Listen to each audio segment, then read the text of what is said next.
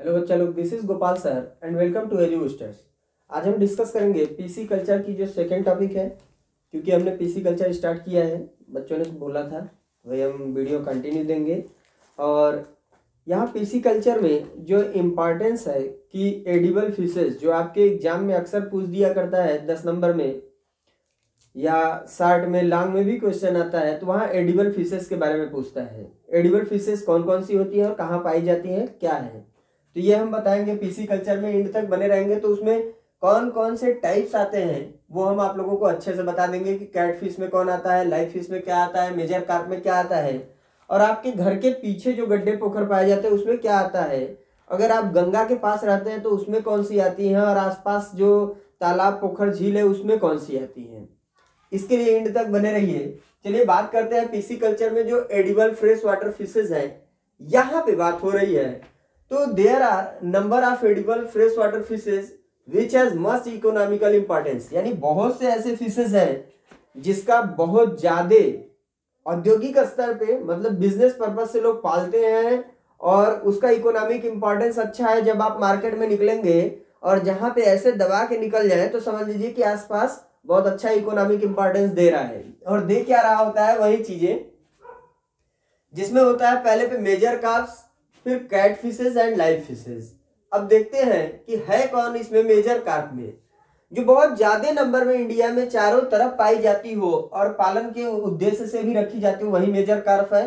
For fish culture many fishes are culture but carp fishes are based for culturing many carp fishes are as follows ठीक है? जो carp fishes है, ये ज़्यादा अच्छा माना जाता है प्लस स्वादिष्ट होता है, प्रोटीनेसियस भी होता है, प्लस ये कहाँ है, हर जगह पे देखा जा रहा है, ये कौन कौन है, जरा देख लेते हैं। कुछ हमने एग्ज़ाम्पल दिया है है तो बहुत सारे, लेकिन कुछ हमने एग्ज़ाम्पल दे दिया जो आपके एग्ज़ाम में पूछ देता है बेटा।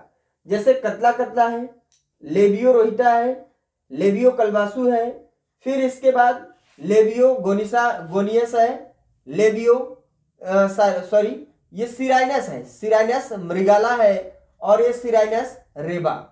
अब ध्यान देना, ये कतला कतला हो गया, कतला कतला सेम एज है। लेबियो मतलब रोहू की बात हो रही है, रोहू की ही ये प्रजाति, दो ठो। ये सिराइनस मृगाला और सिराइनस रेबा जो है, इसको जरा आप लोग अगर जानते हैं तो कमेंट बॉक्स में हमको बताएँ तो हमको समझ में आए कि बच्चे हमारे पढ़ रहे हैं। और नहीं बता पाते हैं तो नेक्स्ट वीडियो का वेट करिए, वहाँ पे आंसर मिलेगा। हम वेट करेंगे आप लोगों का कि आंसर दे रहे हैं या नहीं। नहीं तो हम फिर इसको बताएँगे। चलिए आगे हम चलते हैं। यहाँ हम कतला कतला की बात करें तो ये ऑल ओवर इंडिया में पाया जाता है। ये क्या है? फास्टेस्ट ग्रोइंग यानी ये इसलिए पाला जाता है कि बड़ी तेज़ी से ग्रो कर रहा होता है इसलिए इसको पालते हैं।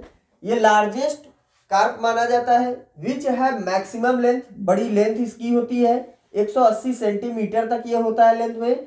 लेकिन ये खाने योग्य कब तक होता है? जब हम इसको खा सकते हैं आई I मीन mean, आप लोग ये जो भी खा सकते हैं इकसठ सेंटीमीटर जो होता है इसका सुटेबल होता है खाने पीने योग्य।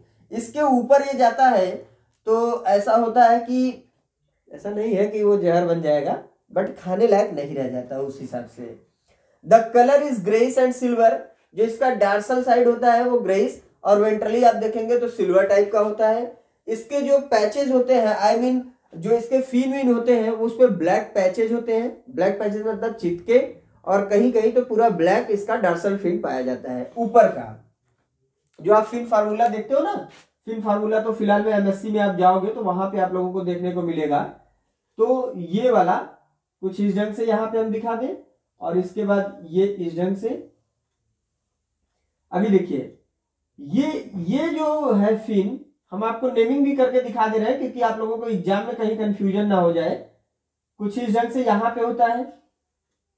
और एक यहाँ होता है, एक यहाँ पे होता है। क्लियर है बेटा? तो इसको बोलते हैं डार्सल फिन इसको बोलते हैं कौन सा? और इसको। उसके पहले ये आप जान लीजिए, ये हो गया डार्सल, इसके बाद ये हो गया anal fin anal fin ये डार्सल, ये हो गया आपका वेंट्रल फिन ध्यान देना, ये डार्सल तो ये वेंट्रल। इसको बोलते हैं पेक्टोरल फिन इसको बोलते हैं पेक्टोरल जैसे ये वाला हम लोगों का इसको बोलते हैं एनल फिन इसको एनल फिन बोलते हैं और यहीं पे इन लोगों का पेल्विक फिन भी बोला जाता है, होता है छोटा सा तो ऐसे आप मछलियों में सारे फिन को देख सकते हैं और काउंटिंग करके भी बताया जाता है। अभी एमएससी में पढ़ना है बेटा तो यहाँ पे इतना ही। चलिए हम आगे बात करते हैं। इसकी जो ब्रीडिंग सीज़न होती है, वो जून से अगस्त तक होती है। ठीक? आइए आगे देखते हैं। लेबियो रोहिता आई मीन रोहू के बारे में सब तीनों मिल जाएँगे इसी में। This is famous and very valuable भाई, सबसे स्वादिष्ट और महँगा मछली ये बोला जाता है वैल्यूएबल होती है। It is pond and bottom feeder यानी कि ये पोखरे में जहाँ भी ऊपर की तरफ़ और नीचे बॉटम में भी रह के ये भोजन लेती रहती है अच्छे से। इनके जो यंगर होते हैं बेटा, ये जू प्लैंकटन छोटे छोटे जू प्लैंकटन, जू जू, यानी कीड़े मकोड़ों के छोटे छोटे जो होते हैं, उनको खा सकते हैं। यानी जब ये बच्चे होते हैं रोहू के लेकिन एडल्ट की अगर बात की जाए तो बड़े भक्त बन जाते हैं। मतलब भक्त का मतलब यह है कि ये प्योर वेजिटेरियन कहे जाते हैं। रोहू जो होता है, इसको प्योर वेजिटेरियन बोला जाता है। ये शुद्ध शाकाहारी मछली है और स्वास्थ्य के लिए बहुत अच्छा मछली कहा जाता है। अगर लोग जो खाते हैं, वो इसको ज़्यादा प्रीफर करते हैं खाने में, क्योंकि ये बहुत ही ज़्यादा हेल्दी भी बोली जाती है। It attains a length more than 90 centimetre यानी इसकी जो लेंथ 90 सेंटीमीटर से ज़्यादा तक आप देख सकते हैं। चलिए आगे चलते हैं। चलते हैं, आगे हम देखेंगे कैट फ़िश के बारे में। कैट फ़िश में क्या है कि पहले तो ये बता दें कैट फ़िश इसका नाम क्यों पड़ा? क्योंकि सारी जो मछली का से बिल्ली की तरह तो हो नहीं सकता, लेकिन उसके लक्षण बिल्लियों की तरह होने की वजह से इसको कैटफिश बोला जाता है। जैसे कि बिल्ली की तरह छोटी आँखें और दूर तक देख लेना उसके बाद बारबस जो मूछे होती है बिल्लियों की, वैसी इन मछलियों में मूछे देखी जाती है। इस वजह से इनको कैट फ़िश बोला गया।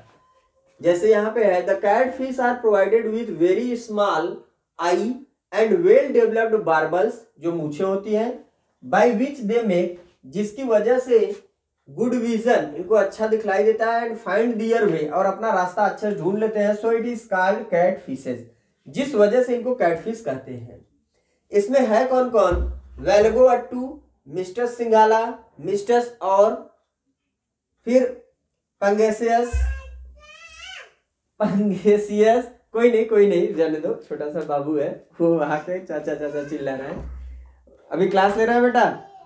चलिए, फिर हेट्रोक्नुएस्टस फॉसिलिस यानी कि सिंगी, और ये जो पंगेसियस पंगेसियस है, इसको पियासी बोला जाता है। जो ये पंगेसियस पंगेसियस है, इसको पियासी बोला जाता है। और यहाँ पे हम हेट्रोक्नुएस्टस फॉसिलिस जो है, इसको सिंगी बोलते हैं। और ये क्लेरियस बट्रैकस जो है, इसको मांगूर बोलते हैं। इसको क्या बोला जाता है? मांगूर बोला जाता है। देन यहाँ पे आता है, ये मिस्टस जो हम बात करेंगे सिंगाला और मिस्टस और, ये है टेंगरा। टेंगरा मछली की बात हम करेंगे। वो होता है टेंगरा मछली एक मिनट के लिए रोकिए जरा तो। यही यही शरारती बच्चा था जो बाहर दरवाजे पे हमको परेशान किया हुआ था। हम पढ़ा रहे हैं और ये चाचा चाचा कर रहा है। बाबू जाओ अभी बाद में आना ना। देखिए भैया ये डिस्टर्ब करके रख दिया हमारे क्लास को।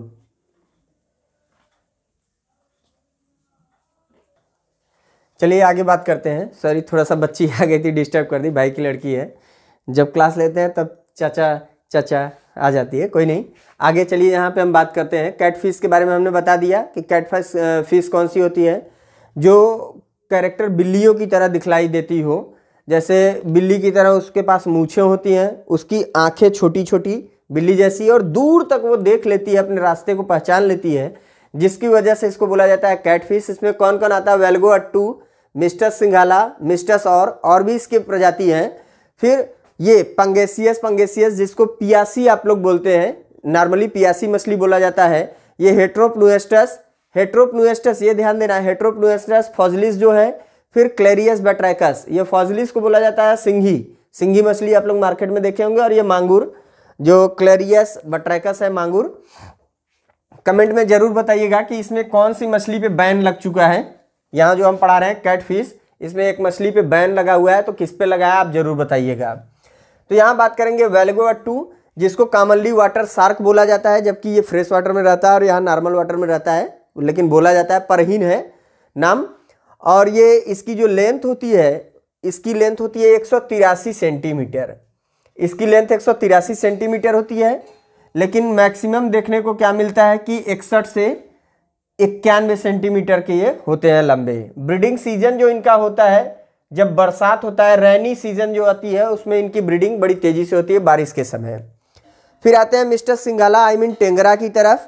The fish is found in riverine system मतलब जो नदियों वाले सिस्टम में पाए जाते हैं, और बेसिक जगहों पे भी इनको देखा जाता है, जैसे छोटे छोटे रिजर्वायर पौंड पुल, पोखर ये सब बना के जो पालते हैं तो वहाँ पे भी इनको रखा जा सकता है। इसमें कौन, जैसे लाइक गंगा जी में जमुना में ये मछली मिल जाती है। और इसके बाद स्मॉल रिजर्वायर जो छोटे छोटे पॉन्ड्स बनाए जाते हैं, वहाँ पे भी इनको पाला जा सकता है। इट कैन अटेन यानी इनकी जो मैक्सिमम लेंथ होती है 117 सेंटीमीटर होती है, और वेट जो होती है 11 किलोग्राम की होती है। लेंथ जो है 117 और वेट 11 किलोग्राम, जो छोटी छोटी आप टेंगरा देखते हैं, वहीं इतनी बड़ी हो जाती है। इसकी ब्रीडिंग सीज़न जो होती है, अप्रैल से जुलाई बोला जाता है देन क्लेरियस बट्रैकस जिसको मांगुर बोलते हैं, ये जो है, लगभग सभी जगहों पे पाया जाता है, फ्रेश वाटर फ़िश है, और ये प्लेन एरिया में ज़्यादातर आप देख लेंगे, मांगूर को मिल जाती है लगभग चारों तरफ़ पूरे इंडिया में मिलती है, इसकी लेंथ 45 सेंटीमीटर मैक्सिमम होता है, और अप्रैल से जून इसका ब्रीडिंग सीज़न होता है। तो चलते हैं, हम आगे बात करेंगे बेटा। चलिए, आगे चलते हैं। अब लाइव फ़िश की बात आ गई। लाइव फ़िश में क्या है? तीन हमने पहले ही बता दिया। आई I मीन mean, तीन ठो हमने बताया था आप लोगों को कि एडिबल फिशेज में एक हमको पढ़ना था कौन सा? मेजर कार्प दूसरा कैट फ़िश और ये रहा तीसरा live fish this fish found in common place like rice field मतलब जो धान के खेत होते हैं और छोटे छोटे तालाब पोखर जो आसपास होते हैं सब जगह पे ये मिलते हैं। ज़्यादातर इसमें सब प्रजाति किसकी है? चन्ना पंक्टेटस चन्ना मरोलियस और चन्ना स्ट्रेटस ये सौर बोला जाता है, यानी कि सौरी मछली जो आप लोग बोलते हैं, वो है। इसके बाद एनाबास एनाबास आता है, एनाबास टेस्टिडुनस, जिसको लोग क्या बोलते हैं वो बहुत कड़क सी मछली होती है, ग्रीन ग्रीन कलर की होती है, रंगीन टाइप की होती है। वैसे मान लो कि ये सिधरी की प्रजाति है। इसको यहाँ पे लोग नहीं खाते, लेकिन बाहर के जगहों पे खाया जाता है ये वाला। लेकिन और जो इसके अनाबास होते हैं, सिधरी सिधरी की सारी प्रजातियाँ खाई जाती हैं एक दो को छोड़ के। लगभग ये सब खाने वाली है। चन्ना पंक्टेटस यानी सौर की ही एक प्रजाति है। सौरी मछली, जिसको बोलते हैं they prefer to live in stagnant water स्थिर जल में और नीचे मिट्टी में धस के रहते हैं। जान लीजिए, इनकी जो लेंथ होती है इकतीस सेंटीमीटर इससे ज़्यादा नहीं देख सकते। In plain and hilly plain में इकतीस सेंटीमीटर और हिली रीजन पे जो होते हैं, ग्यारह सेंटीमीटर तक ये मिलते हैं। एनाबास की बात करें टेस्टूडिनस यानी सिधरी। सिधरी की एक दूसरी प्रजाति है, लेकिन है सिधरी ही। This fish is found in fresh water ये शुद्ध, साफ़ जल में मिलती हैं। भारत में चारों जगहों पे, सभी जगहों पे पाई जाती हैं। एंड आर कास्टली ये महँगी मिलती हैं और हाईली न्यूट्रिटिव होती हैं। ज़्यादा प्रोटीनेशियस भी होती हैं। दे में अटैन, लेंथ 26 सेंटीमीटर, सिदरी विदरी, चिल्हा बोला जाता है, ये सब बड़ी छोटी छोटी होती हैं। दे आर कार्निओरस इन नेचर, ये कैसी होती हैं? कार्निओरस होती है। चिल्हा भी बोलते हैं इसको छोटा छोटा होता है। अभी देखो, इतना डिस्टर्बेंस होने के बाद भी क्लास एकदम फाइनली हमने ये पूरा पीसी कल्चर का जो एडिबल फ़ीस था कंप्लीट किया। इसके बाद नेक्स्ट पार्ट आप लोगों को जल्द ही मिलेगा और रेगुलर हम क्लास देंगे बेटा। क्योंकि हमने प्रॉमिस किया है तो हम सब कुछ आप लोगों को प्रोवाइड करेंगे। अगर वीडियो अच्छा लगा हो तो कमेंट में प्लीज़ इतना बता दिया करो, क्योंकि हमको भी एनर्जी चाहिए होता है। बेटा, आप लोगों के कमेंट और लाइक से बहुत एनर्जी मिलती है, जिससे हमको लगता है हम मोटिवेट हो और डेली एक वीडियो दें आप लोगों का क्लास जल्द से जल्द पूरा करके कुछ नया नया कराएँ प्लस क्वेश्चन आंसर हम सोच रहे हैं कि सॉल्व कराएँ। जिससे आप लोगों को कौन सा पेपर, हर सत्र का पेपर सॉल्व कराएँ, जो इंपॉर्टेंट टाइप का क्वेश्चन है, वो फंस जाएगा। क्या पढ़ाना है, ये सारी चीज़ें हो जाएँगी। अगर आप लोग चाहेंगे तो हो पाएगा, नहीं तो नहीं हो पाएगा। नए हैं तो सब्सक्राइब करिएगा। कमेंट में ज़रूर बताएँ वीडियो कैसा लगा। Thank you for watching my video